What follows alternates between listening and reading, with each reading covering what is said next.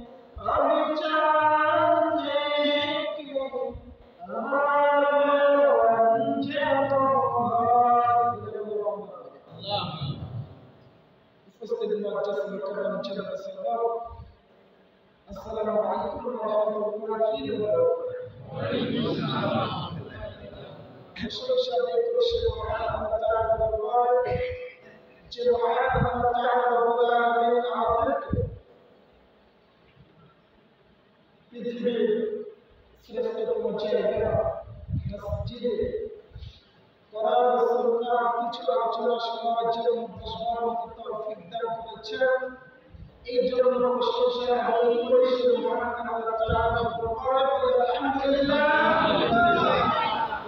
ربنا لك الحمد حمدا كثيرا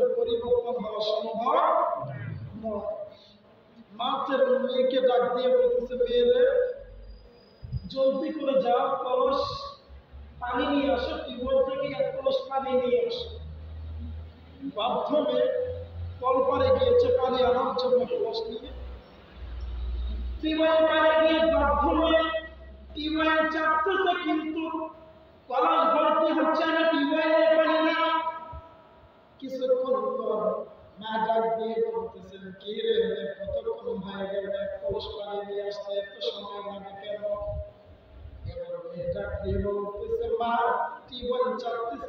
কিন্তু টিওয়াইলের পানি তারা তো কলস ভর্তি হয় না এবার আমার লাইন চোখ করে দেখতেছে, মেয়েদের বেশি বড় ভুল করো না। তুমি তো এর মাঝখানে আমার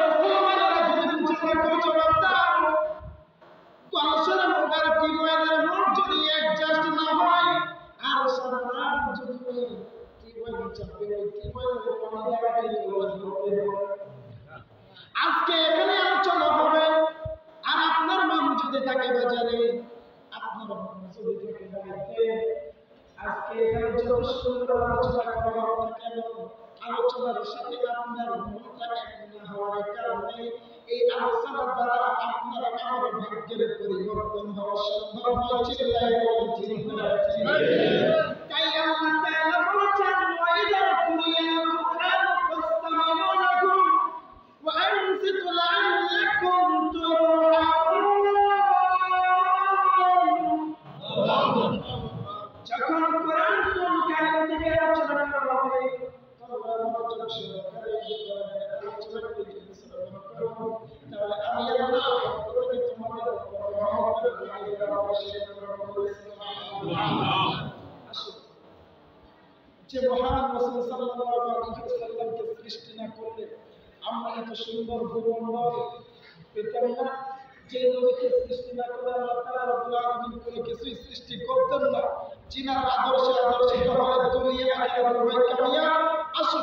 আমরা সবাই সেই রসুলের সাথে হৃদয় নিগ্রাম ভালোবাসা নিয়ে দূরত সালাম মার করে সবাই বলে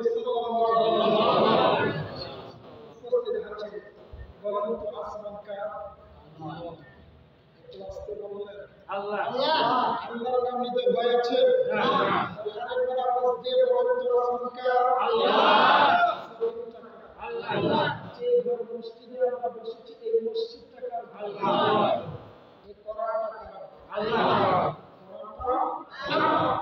সুতরাং আল্লাহর আসমানের নিচে আল্লাহর জমিনের উপরে আল্লাহর মসজিদে আল্লাহর কোরআন থেকে কথা হবে এটা কি স্যার আপনারা? ভূমিকা স্যার সরাসরি থেকে আলোচনা করতে চাই। আমার অতি সংক্ষিপ্ত সময় শিক্ষামূলক একটি আলোচনা করব। আলোচনা করে প্রধান মেয়রকে ছেড়ে দেবেন ইনশাআল্লাহ।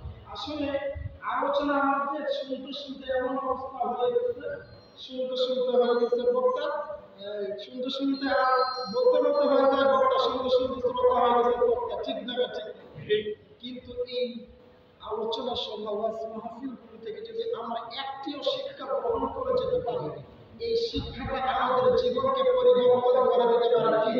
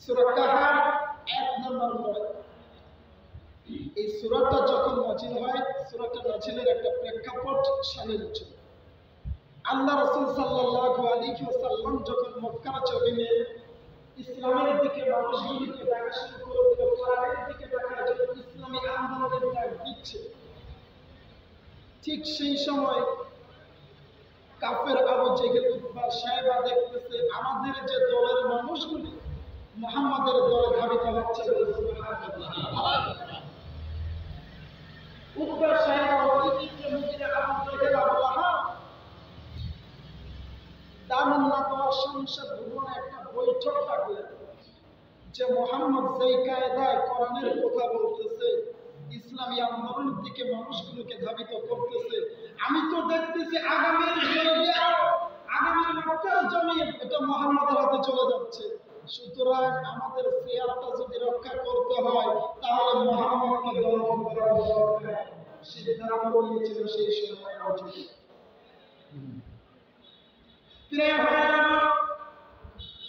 আকবর সংসদ ভবনের মধ্যে বৈঠক নিল। সিরাজ ইবনে হিশামের ভিতরে এসেছে। আল্লাহ রাসূল সাল্লাল্লাহু আলাইহি ওয়াসাল্লাম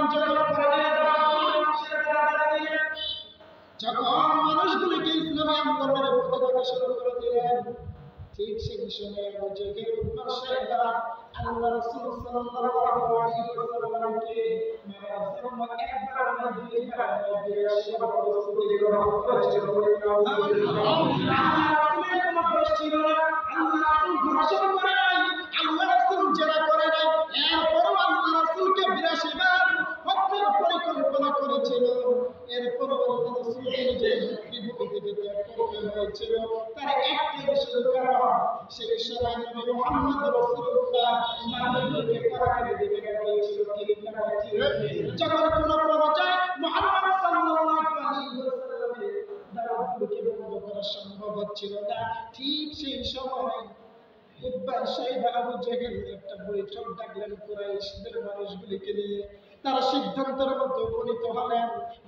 মাস্টারকে যদি ঠেকাতে হয়, আরেক শ্রেণির মাস্টারের প্রয়োজন। চেয়ারম্যানকে দমন করতে হলে আরেক চেয়ারম্যানের প্রয়োজন। এক মোল্লা মোহাম্মদকে বন্ধ করতে হলে? ঠিক সেই সময় মোহাম্মদ সাল্লাল্লাহু আলাইহি ওয়াসাল্লামের কালিমার দাওয়াতগুলিকে বন্ধ করে দেওয়ার জন্য মদিনা চলে গেলেন। কয়েকজন কাফের মদিনায় চলে গেলেন। মুহাম্মদ সাল্লাল্লাহু আলাইহি ওয়াসাল্লামকে কেমন করে কালিমার মদিনার আনন্দরকে গিয়ে জিজ্ঞেস করলেন, আমাদের মক্কা ভূখণ্ডে এমন একজন মানুষের আবির্ভাব হয়েছে নাম তার মুহাম্মদ। নিজেকে নবী বলে দাবি করে, আর নবী বলে দাবি করে যে সমস্ত মুহাম্মদের দিকে ধাবিত হচ্ছে।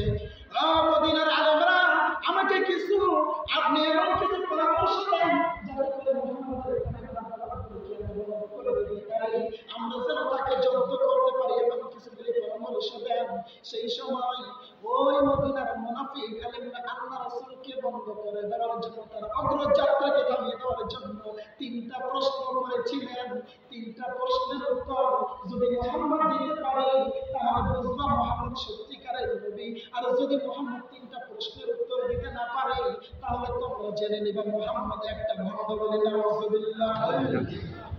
সেই সময় সাল্লাল্লাহু আলাইহি ওয়াসাল্লামকে মদিনা থেকে কাফাররা ফিরে আসে, তিনটা প্রশ্ন করলেন, হে নবী, হে মোহাম্মদ, তুমি যদি সত্যি নিজেকে নবী বলে দাবি করো, আর যদি সত্যি তুমি নবী হও, তাহলে আমাদের তিনটা প্রশ্নের উত্তর দাও তো।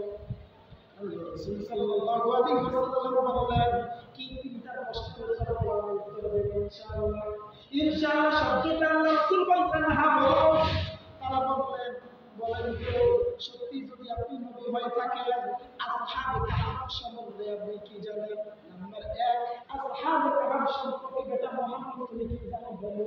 দ্বিতীয় নাম্বার প্রশ্ন করলেন, কোন সেই ব্যক্তি?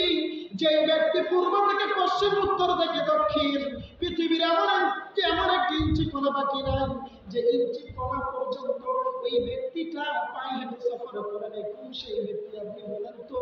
যে ব্যক্তিটা তখন পৃথিবী পায়ে হেঁটে ভ্রমণ করেছিল। নাম্বার তিন, ও বেটা সত্যি যদি তুমি থাকো, তাহলে তুমি প্রভু সম্পর্কে তুমি কি জানো? এই তিনটা প্রশ্নের উত্তর যদি মোহাম্মদ তুমি দিতে পারো, তাহলে আমি তোমাদের পরে মুসলমান হয়ে যাব। তাহলে আমরা বুঝব যে তুমি। আল্লাহ রাসূল সাল্লাল্লাহু আলাইহি ওয়াসাল্লাম ভাবলেন যে আল্লাহ রাসূলের কাছে ওহী নাজিল হয় ওই রকম মনে হয় পরের দিনও ওহী নাজিল হবে। এই চিন্তা মনোভাব নিয়ে আল্লাহ রাসূল বললেন ঠিক আছে আজকে আপনারা যান আগামী কালকে আসেন আগামী কালকে আমি তোমাদের এই তিনটা প্রশ্নের উত্তর দেব। বলে সুবহানাল্লাহ। পরের দিন আল্লাহ রাসূলের দরবার সমস্ত কাফিররা চলে আসলো।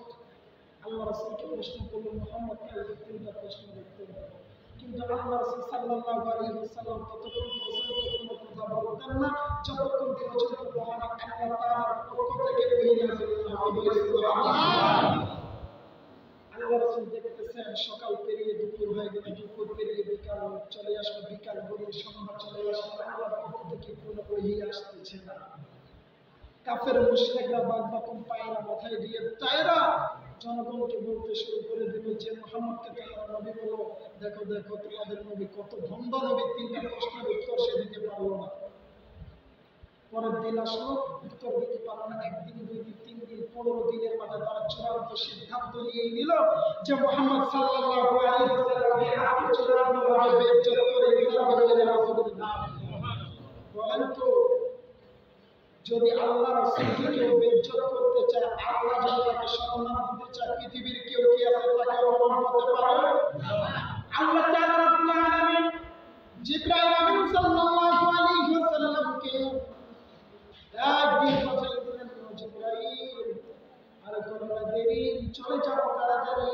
মক্কার ভূখণ্ডে কাফেররা বাড়াবাড়ি তারা চূড়ান্ত পর্যায়ে সিদ্ধান্ত নিয়ে নিয়েছে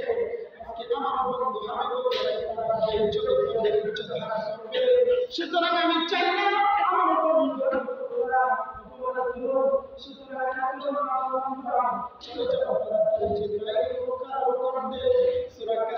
আমার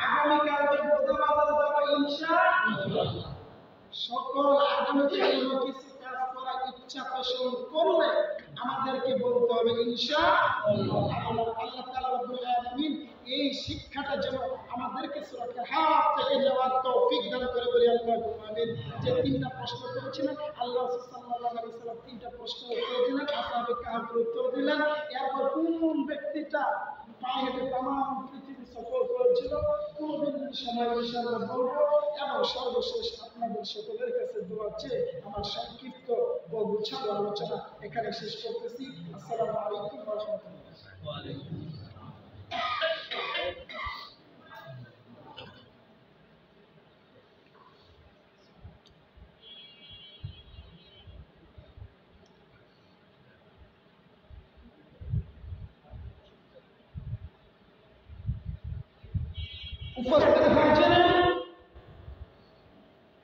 এরপরে যে আপনাদের সামনে কোরআন থেকে মূল্যবান পেশ করবেন। আন্তর্জাতিক খ্যাতি সম্পন্ন মাওলানা সাংগঠনিক সম্পাদক, বাংলাদেশ গবেষণা পরিষদ